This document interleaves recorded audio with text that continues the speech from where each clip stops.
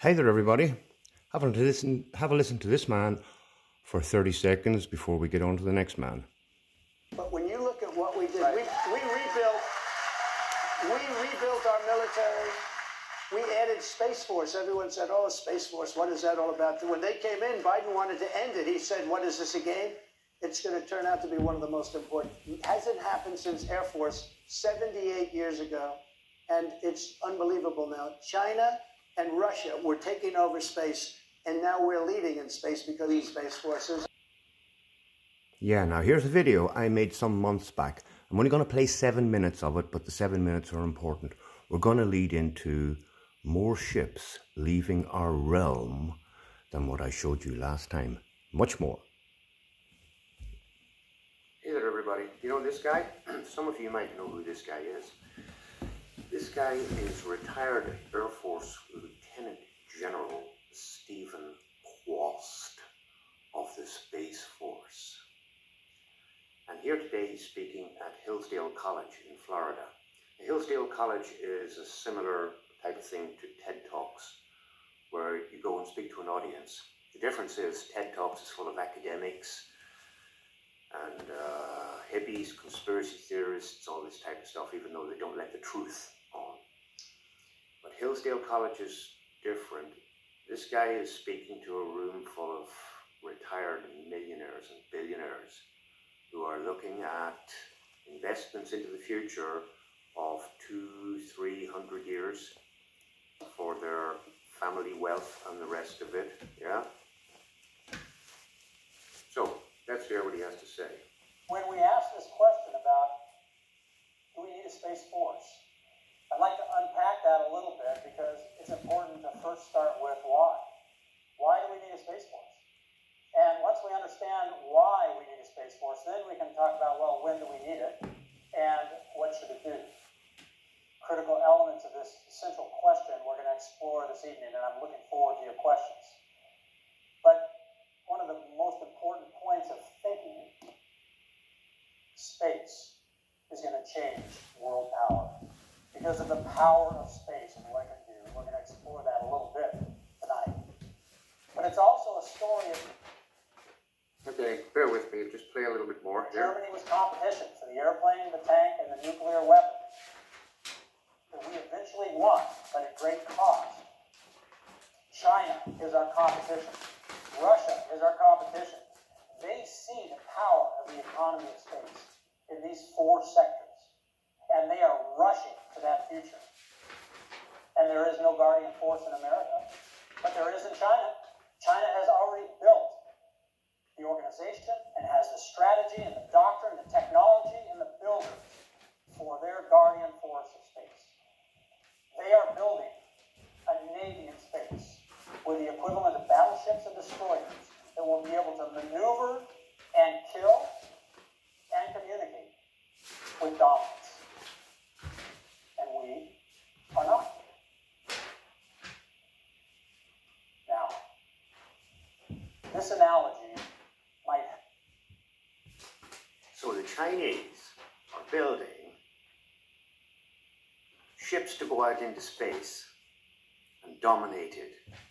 You hear all that? This is coming out of this guy's mouth. Right? Let's take it a little bit further. It's not about making better satellites or even having a constellation of satellites. When you see China on the far side of the moon mapping today the minerals. What? China is on the far side of the moon mapping minerals and resources. Yeah? And this is what's got you all riled up. A continental United States, let's say we're in Miami, and we're looking out over the wide open ocean. That ocean is deep space. The orbit around the Earth is the shoreline where the waves are crashing. The deep water is space. And there is a continent out there, three times the size of Africa. There's a continent out there three times the size of Africa, and that's the moon. And nobody lives there, Steven. Un momentito. a continent, Steven, three times the size of Africa, that nobody lives there. Which one is it? That one? This one? This one? Because you have continents out there that you codename Mars and the Moon. So that when you say to the people of the world, oh, we've been to the moon, we've been to Mars, inside yourselves you're not lying. Because you've been to these places out here that are codenamed Mars and the moon. Not the lights in the sky we're talking about. These are the Chinese ships are going out there and coming back in. I said this last week. Right? Let's bring it a step further. Of Africa. That's the moon. And nobody lives there. It's only three days away. It has massive amounts of everything that Mother Earth has, to include water on the South Pole, in the craters, greater than the Great Lakes as far as volume. And China is racing with ships on that open ocean to that great, open, desolate place that can be turned into resources and blessing for a marketplace. And they're doing it not just to get the resources, but to tap into the trillion dollar markets on planet Earth. Imagine what you could do if you could sell technology to somebody from China and deliver Wi Fi. And once you've built the infrastructure in space, you can deliver it for pennies. That energy over time. They will tap into those trillion dollar markets as they have in the past, as we have in the past, and fund their ecosystem, their economy, their marketplace in cislunar space, which is basically the distance between the Earth and the Moon and beyond. And we, as an American society, we are sitting on Miami Beach, sipping our pina colada, looking out at the waves, and as we are watching China build this navy with battleships and destroyers going out into the open oceans and off to this continent three times the size of Africa, we are building buoys and lighthouses, which are the satellites. They can see and hear what's going on, but can't do a darn thing about that rover on the backside of the moon. The You far hear side of the this shit? And if we were to try to go there, they could oh, shoot us down. Oh, shoot And you speed down. matters. Speed matters because whoever gets to the new market sets the values for that market. So, have we gathered up what this guy just said?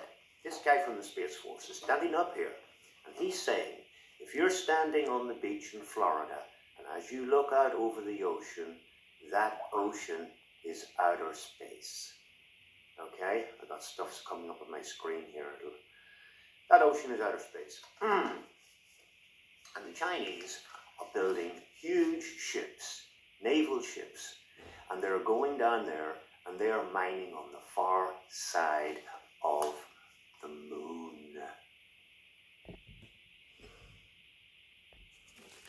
So I'm just getting uh, back here to the marine traffic map, okay? Now, Mr. Lieutenant, Lieutenant General Steven Kwast, talking about that open ocean, and he said, that great open desolate place, right? It's called outer space, Steven.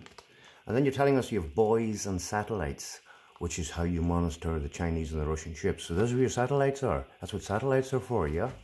Okay, we'll get just a moment.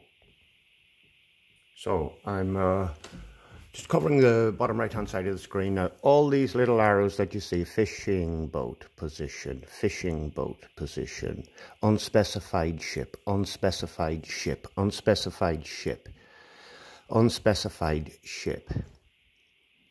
All right. Another unspecified ship. And this one, we're going to have a look at this one because this is the one that is called A A A A A A A A A A A A A Gross tonnage nothing, dead weight nothing, length 639 meters by 91 meters wide. Uh, nothing up here, no sign stuff. Position is there, location, time, latitude, longitude, status. Have a yeah, there should be some more. And here we have the vessel timeline. Gives absolutely nothing away. Speed in knots, nothing. Range, nothing. Zero, zero. Draught, zero, zero, zero. Companies that might be using it, the build, the dimensions, the tonnage, the gear, the engine details, the contacts, owner manager, nothing. So here we go. Let's have a look at this unspecified ship, position received via satellite. so you click on it, fishing boat, it says fishing, full access, learn more. So then they say to you, oh, you really want to have a closer look at our marine traffic map? Pay us £78.30 and we will send it to you. Not paying for it. So here's a ship. 19 EPUJ, that's its name, and it's stuck down there 500 miles into thick ice. So, here we go. 19 EPUJ. Add to fleet, more info. Nothing, really. So here's the vessel details for boat number I9 or 19EPUJ. Let me zoom in here on a thing or two here. So take a look at this here. MMSI 505789379 call sign blah blah blah flag Kiribati. Type of ship Rason. Gross tonnage nothing. Dead weight nothing. Overall length breadth not available. Year built nothing. Status active. Position received. Vessel timeline blah blah blah. Again, you look for details on this ship, nothing. Sat, phone number, sat, fax, everything. They give away zero information. Now here's another ship down here in the ice. It's code named 4. You call your ship 4. Maybe you've got four of them. You know, and you're a bit uh, dyslexic, you call your ships 1, 2, 3, and 4. so, this is the, the details for ship number four. Again, nothing. Call sign nothing. Gross tonnage nothing. 516 meters long by 80 meters wide. Status active. Position received 18 hours, 12 minutes, blah, blah, blah, blah, blah, blah, blah. Area INLRU, inland Russia. Didn't the Don say that Russia and China were building ships to outer space and they were taking over, but not anymore. And this is ship number four. General, nothing. Companies, nothing. Build, nothing. Again, zero details. Owner, manager, nothing. Recent port calls, arrival time, departure time, no records found. That's strange. The maritime people really like to keep records, don't they? Look at this, people, I zoomed in on this. Passenger vessel. Passengers. What kind of passengers are going down through there? Down into Antarctica. Passenger vessel? How much are the tickets? Who's on board? Can we book a ticket? We want to go down. We thought, no, no, no, something's going on here. And you see them fishing boat things that I was talking about earlier on? That's a code name for spy ship. Okay? So there we go. Passenger vessel. Full access. Learn more. Received last position three hours ago. So even here when we sit and count, we've got one, uh, there's a port, another port, and another port. What is Notice about these circular things being ports? On my video called uh, Hy Brasil and a few more lies. I showed up what ports look like out in the ocean, but the arrows are ships. One, two, three, four, five, all stuck in the ice. So you see that these uh, Russian and Chinese ships are registered in Kiribati. Kiribati is the weirdest place in the world. I told you all about it before. Somebody come down, Chinese come down with a big airplane full of $10 billion, gave it to everybody. They used to make skirts out of grass. Now they're making them out of $100 bills. And they can't sell them. that was a joke. Ah, Kiribati is on the international dateline. But New Zealand and Australia do not want Kiribati on a different day than what they're on. They're on. So this has to go around Kiribati to keep Tuesday, Tuesday, and Wednesday, Wednesday. So that when they wake up on Tuesday and they gotta get a message to Kiribati, they gotta make sure this message gets to Kiribati on Tuesday. Whereas if the fucking line was down here, get there on Wednesday. Excuse my language. Ah! Now, uh,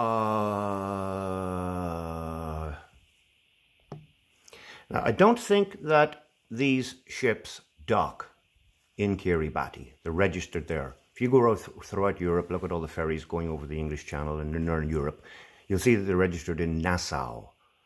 But they never dock there. And way back through the years, you know, all the tankers that used to sink and get uh, hijacked, they were always registered in Liberia, Liberian registered tankers. But they never docked there. They're just registered there. So these ships don't dock in Kiribati, they're just registered there. Yet, some type of trade route could be going on. There could be tunnels to Kiribati where large amounts of goods are shipped to. And then they have to board these huge ships. Now, if you go look, look up anywhere at the largest ship in the world, it'll show you this giant container ship, 410 meters long. So these other ships that are 560 meters long and 80 meters wide, they are not registered as large ships. Nobody knows about them. But they don't dock here in Kiribati. But Kiribati has been bought and sold so that it can be used as a registration point. and it is quite possible that they do. That these large ships don't come any further north than here, so that nobody sees them, so that the, the, the, the stuff can come in in the tunnels, go in the ships and go out, because I had a commenter. Now, uh, compliments to Mickey and Karen from uh, Sun and Moon Family United channel, because they found my first video called Kiribati called Marine Traffic Map and Kiribati Human Carpet, and they put it up on their channel. Fortunately enough, Dave Weiss got a hold of that video, saw that I put up some stuff on the large ship that was going down through the ice, and it's been working on it ever since. Fair play to him. That's what I wanted it to do. I wanted it to get out there. It's not about me. But here I am today now. I'm showing you four, five more ships. Passenger ships, fishing boats, unidentified ships all going up and down through there of huge proportions. Absolutely huge proportions. Maybe they dock in Kiribati, maybe not. Now here's another thing. One of the commenters said to me, he said that he worked in a factory that made nail clippers, nail clippers, scissors, toe clippers, tweezers. You know those type of little stainless steel things that you buy once in your life? Or maybe you'll buy one every 10 years if you lose it or if it goes blunt or something. Right, right, right? Am I right? Am I right? But he could not figure out, because in the fa- leaving the factory were hundreds of container loads full of nail clippers, scissors, tweezers, uh, clippers, all this type of stuff. And he wondered to himself, now where the friggin' hell are all these things going? These are a once in a lifetime item. So he, he, he obviously saw the video and two things clicked inside his head. What the frig? So does our southern neighbours have claws?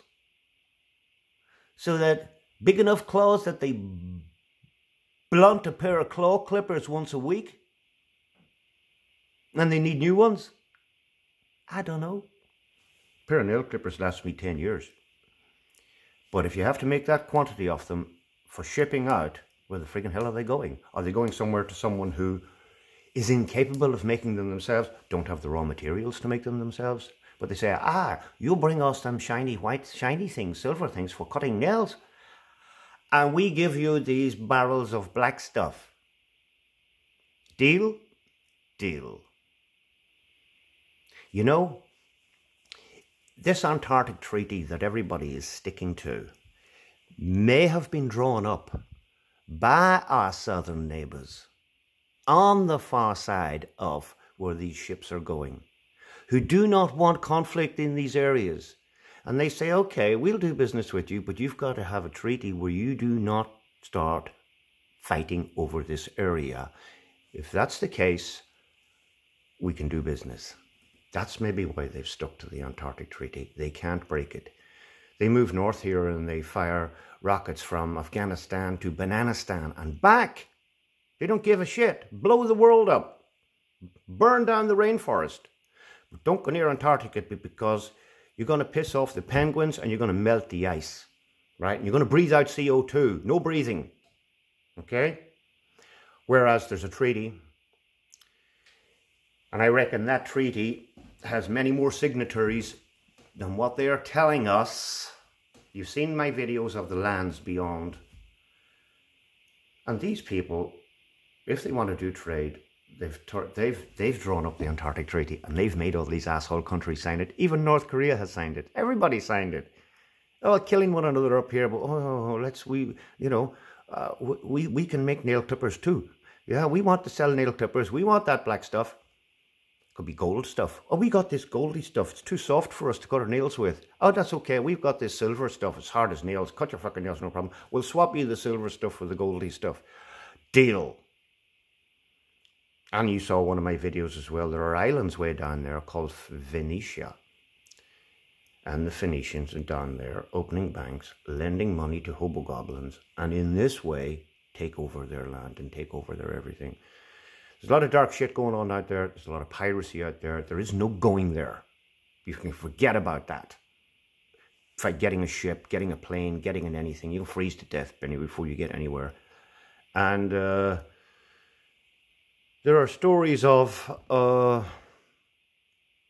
pirates, inhospitable lands. Now, there may be sunshine lands on the far side of it, we don't know. But there are ships going out there, plenty of them, passengers, spy ships spying on everybody. Uh, uh, uh, Space Force have got satellites and buoys out there to keep an eye on the Chinese ships and Russian ships in space, which is the deep ocean, to Mars and the moon. There's three times the size of Africa, and it's only three days away. It's full of resources. We want some. The Chinese have 500 meter ships and they're going up and down there getting them. And, and we can't make nail clippers fast enough for these people. Something's going on. This video can explain a lot. The Don is talking about it. The Space Force General is talking about it. The Marine Traffic Map is talking about it. Hopefully David Weiss gets a hold of this video as well, because there's a lot more information on this here. And you're not going to just get your hands on the marine traffic map. I had the bottom right-hand corner covered here because I am covering up the source of where I'm getting this from. Okay? Because we've gone back in time.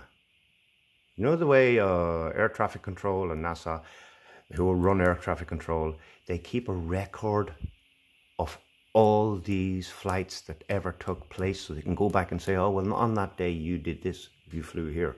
They keep a record of the marine traffic map as well. It goes back in time. You just got to go, know where to go and look for it. Because they're not letting it out. And they are letting it out. It's there. Everybody has to see it. But they're hiding now what, what, what went on in Antarctica. But they can't hide what they have previously recorded. Now, fuck me. Maybe might go back and wipe all that out too. So this is an important video. Share it out. Send it to everybody. Download it. Keep it in a safe place. All right?